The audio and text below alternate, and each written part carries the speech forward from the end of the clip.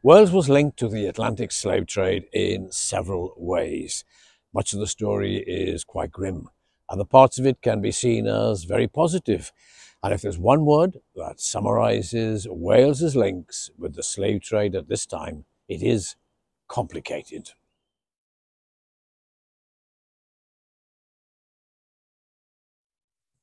The economic impact of this slavery was that a few Welsh people became very rich and some poorer Welsh people became a little bit better off, temporarily at least. And money from slavery helped to develop Welsh industries. There were notable figures in history who devoted their lives to abolishing the slave trade, including, in Britain, William Wilberforce, the trade was made illegal in Britain in 1807 and slavery was finally outlawed in the British Empire in 1833. And there were quite a few Welsh people who made it their mission to stamp out slavery in Britain and beyond. Their names are not so well known today, but their work is worth remembering. But first, let's rewind to the 1600s transporting captives from Africa to work on plantations in the Americas was becoming a big business. It was brutal and cruel, resulting in countless deaths at sea. Welsh sailors would have likely served on slave ships, and Welsh pirates and privateers were involved. The most famous of them all, Captain Henry Morgan, the Cardiff man who became governor of Jamaica, owned slaves on three plantations. He also attempted to suppress a slave revolt. The infamous West Wales pirate Bartholomew Roberts, better known as Black Barty or Barty the, set fire to a slave ship whose captain declined to pay a ransom. There was great loss of life. And as for that economic impact on Wales, first Copper from North Wales was made into ingots or copper bars. This was a currency made specifically to purchase slaves in West Africa, where copper was much prized. It was obvious what the copper ingots were for. They were known as Negroes. And when Swansea later became the copper smelting capital of the world, among its produce were boilers for the Caribbean sugar plantations.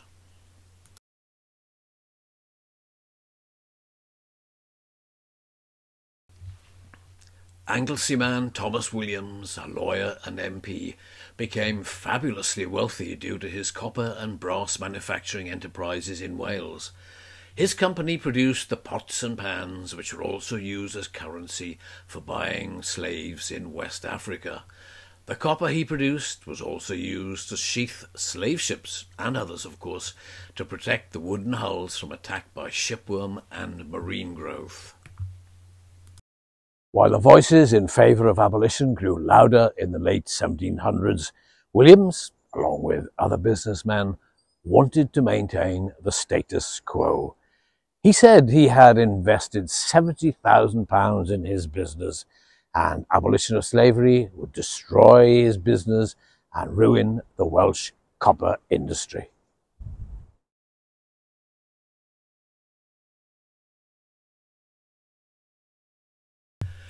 Even much poorer people in Wales depended, for a time, on slavery for their livelihoods. Textile weavers in mid Wales made a rough woolen cloth called Welsh plain. It had long been sold throughout Europe, but the coming of mass production in textile factories produced better quality and lower cost fabrics, and so demand for Welsh plain began to fall away. A new market had to be found. And so the thick fabric from rural Wales was sold to be worn by slaves in the heat of plantations of sugar cane, tobacco, and cotton. Like the copper ingots, its purpose was made obvious. Welsh plain became better known as Negro cloth, and for a time the weavers thrived on this export. The population of Mid Wales even grew as a result, but emancipation of slaves in the 1800s, along with that industrialized competition and exports hampered by war, killed the market, and this rural part of Wales slipped back into relative poverty. The abolitionist movement was growing strongly in the late 1700s, and reports of extreme brutality garnered even more support from the general public. In 1781, more than 130 slaves on a British ship called Zong were deliberately thrown overboard to drown, simply to make an insurance claim. It appalled and enraged many and further stirred the public conscience. And there were Welsh people, at home and abroad, who were determined to do everything they could to end the evil of slavery.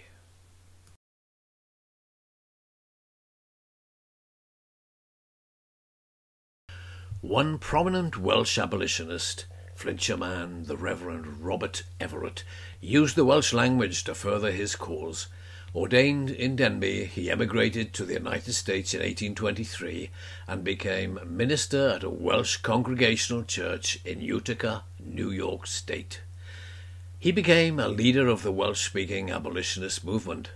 At that time, there were many Welsh emigrants in the USA, and the language was still in common use there, so Everett translated English language abolitionist information into Welsh to get the message through to Welsh Americans. And as the editor of Y Cenhadwr Americanaidd, the American missionary, he printed anti slavery material and launched a campaign plan to draw Welsh Americans to the cause.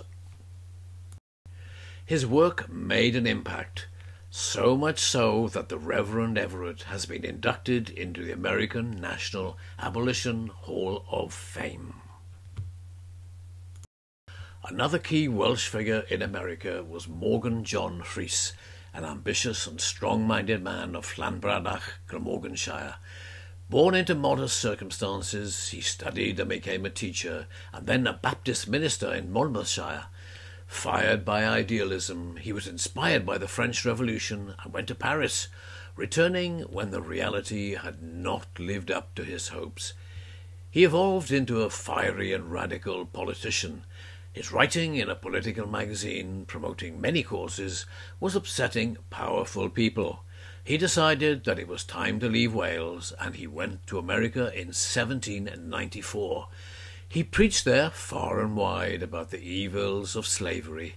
He founded a Welsh Emigration Society and later bought a tract of land in Pennsylvania which he called Cambria and he founded a town there he named Beulah. He attracted Welsh immigrants, but the settlement eventually faded away.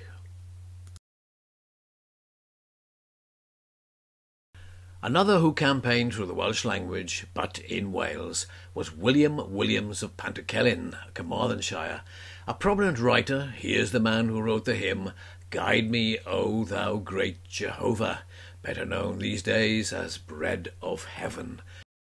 In the 1770s, a number of former slaves published their life stories, and Williams was the first to translate one of these into Welsh in 1762. People in what was still largely Welsh speaking Wales could discover the cruel reality of slavery in their own language. Other prominent people in Wales also made well known their opposition to slavery. That complicated individual, Edward Williams, better known by his bardic name of Iolo Morgannwg, poet, radical, shopkeeper, stonemason, and forger of literary works, was one of them. He refused to stock slave-grown sugar in his shop in Cowbridge in the Vale of Glamorgan. He had written May the vast Atlantic Ocean swallow up Jamaica and all the other slave trading and slave holding countries before a boy or girl of mine eats a single morsel that would prevent him or her of perishing from hunger, if it is the produce of slavery. However, Iolo's two brothers were slave owners in Jamaica. They had a plantation with 240 slaves between them. And Iolo, although constantly broke, had long refused to take any money from them. But when one brother died and left him a hundred pounds in his will, Iolo took it, he said, to pay off his debts and also to help his son become a schoolmaster. The Black History Month magazine highlighted a similar embarrassment for a fervently abolitionist Welshman. The Reverend Thomas Coke of Brecon was a close associate of John Wesley, the founder of the Methodist Church. Coke was an intellectual still revered today for his tireless work. In the 1780s, Coke was sent to America to establish Methodism there. He was ordained a bishop, the very first Methodist bishop, and preached widely against slavery. This made him very unpopular with some. He then went to the Caribbean to set up Methodist missions. On the island of St. Vincent, he was given a plantation by the local government, and, well, perhaps you can guess what happened next. He had slaves to run it. Predictably, this apparent hypocrisy greatly angered fellow abolitionists, and he swiftly gave up the plantation. He admitted to his error, saying that he should not have done evil that good may come. In other words, he did the wrong thing for the right reasons. His biographer wrote, He did it with the best will in the world and with the intention of giving the slaves that he owned a decent life. The way that even people like Iolo Morgannwg and Thomas Coke ended up with financial involvement in slavery, despite their strong moral objections, is perhaps an indication of how insidious was the wealth from the slave trade and its application in the Americas. When the first step to challenge the slave trade reached Parliament in 1788, the most powerful Welsh voice raised against it was that of Richard Pennant, first Baron Penrhyn. He was the owner of Penrhyn Castle and also six sugar estates in Jamaica, with more than 600 slaves. He never visited his Jamaica estates, but the profits helped him develop the Welsh slate industry, including the Penrhyn Quarry. On that day in Westminster, Sir William Dolben spoke of the deaths that would be avoided if slave ships were not overcrowded and with deadly sanitation. Pennant argued that all this was unnecessary because ships' captains were already motivated to save lives for purely financial reasons he lost that argument. The Slave Trade Act of 1788 was nothing more than a matter of regulation. It just limited the number of slaves that could be carried on a ship. The Society for the Abolition of the Slave Trade became ever more influential and worked for complete abolition in the years that followed. Many people in Wales supported its goals, and those abolitionists mentioned here were just the most prominent.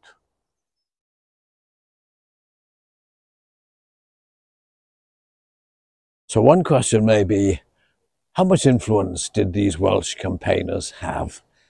Perhaps as individuals and even collectively it may not have been very much, but they played their part in growing a movement and building a critical mass that eventually, it would take decades more, but eventually brought to an end a sorry chapter in history.